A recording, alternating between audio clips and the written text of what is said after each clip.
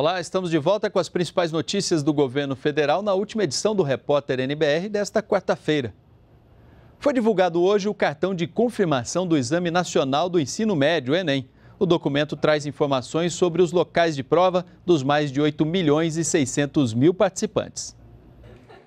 Contagem regressiva para o Enem 2016. Faltando pouco mais de 15 dias para as provas, a Ágata, a Ilane e a Emily aproveitam todo o tempo que têm para estudar. Elas participam de aulas intensivas com conteúdo específico para o Enem nessa escola de curso preparatório de Brasília. A gente tenta estudar mais agora que está na reta final para se sentir mais preparado na hora da prova, para você não chegar e ter aquele nervosismo de chegar e não ter estudado alguma coisa. Na reta final a gente se dedica mais a fazer questões como os professores sugerem, da gente fazer mais exercícios, porque na reta final já não dá mais assim para estudar como antes. Passar o mais rápido possível, porque o que a gente quer mesmo é sair do cursinho e estar tá na faculdade, porque quando a gente entrar na faculdade a gente vai se sentir um pouco mais estável, é, fazendo o que a gente quer e é só o que a gente pensa no momento. E é bom que elas se preparem mesmo, porque a concorrência vai ser alta. Neste ano, mais de 8 milhões e 600 mil candidatos vão fazer a prova do Enem em cerca de 1.700 municípios. E os inscritos já podem acessar os cartões com o endereço dos locais de prova pela internet ou por meio do aplicativo Enem 2016. O Ministério da Educação recomenda que os candidatos conheçam os locais de prova com antecedência. As provas deste ano serão realizadas nos dias 5 e 6 de novembro. Os portões serão abertos ao meio-dia e fechados a uma hora da tarde, no horário de Brasília. E neste ano vai ter uma novidade: a coleta de dados por meio da impressão digital. O sistema biométrico é uma novidade que vai assegurar segurança de que um cidadão não vai se submeter à prova do Enem em nome de outro e isso vai ser acompanhado diretamente pela própria Polícia Federal em testes na hora da realização da prova ou posteriormente para a identificação de eventual tentativa de fraude à prova do Enem. E esta semana o Congresso Nacional aprovou crédito extra de 1 bilhão e 100 milhões de reais para o Ministério da Educação garantir a realização do Enem e o pagamento do financiamento ao estudante do ensino superior. Desse total, 400 milhões de reais serão para o Exame Nacional do Ensino Médio e os outros 702 milhões de reais para o FIES. O ministro da Educação, Mendonça Filho, comentou sobre o dinheiro destinado ao Fundo de Financiamento Estudantil. A aprovação do crédito suplementar de 700 milhões de reais permitirá a renovação de 1 milhão e meio de contratos antigos e 75 mil novos contratos de financiamentos para viabilizar o acesso à educação superior para milhares de jovens brasileiros, o que é uma coisa muito positiva. Agora tudo está normalizado e o FNDE adotará as medidas necessárias ao atendimento dos jovens que dependem de financiamento estudantil para se manter nas universidades e faculdades do Brasil.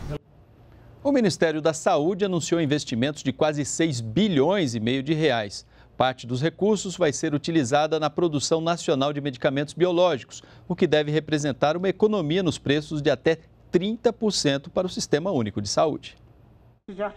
Os recursos vão incentivar a produção nacional de medicamentos, insumos e tecnologias médicas. A nova política de plataformas inteligentes de tecnologia em saúde foi anunciada nesta quarta-feira.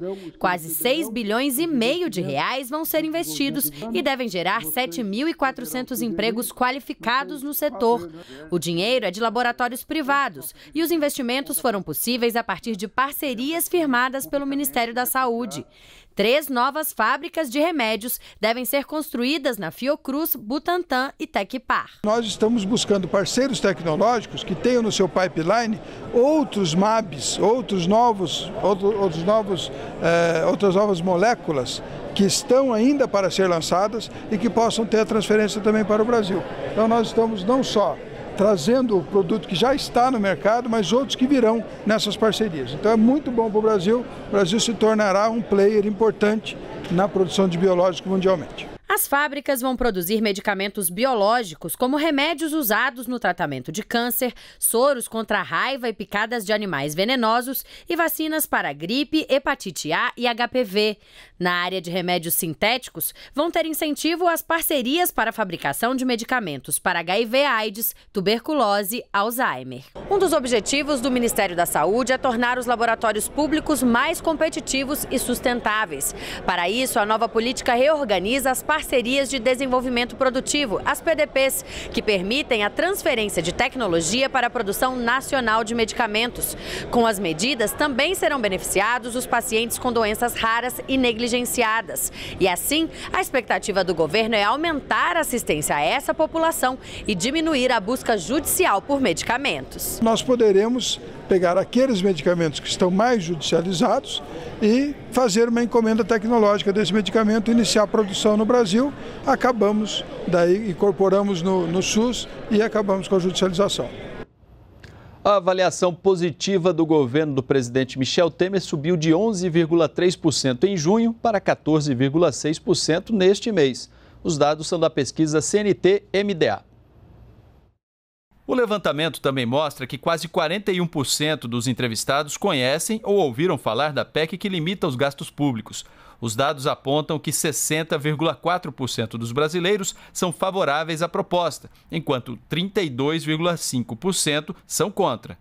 Quando questionado sobre a relação do governo com o Congresso Nacional, 58% dos brasileiros consideram que Michel Temer terá apoio suficiente para realizar mudanças e 29,2% acreditam que não terá. No cenário estadual, 28,9% avaliam o governador de seu estado como ótimo ou bom e 30,9% como ruim ou péssimo.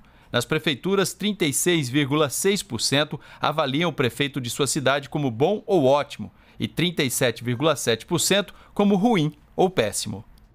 Nós ficamos por aqui. Podemos voltar a qualquer momento com outras informações ou amanhã, às 9 da manhã, na primeira edição do Repórter NBR no Dia. Continue com a gente. NBR, a TV do Governo Federal.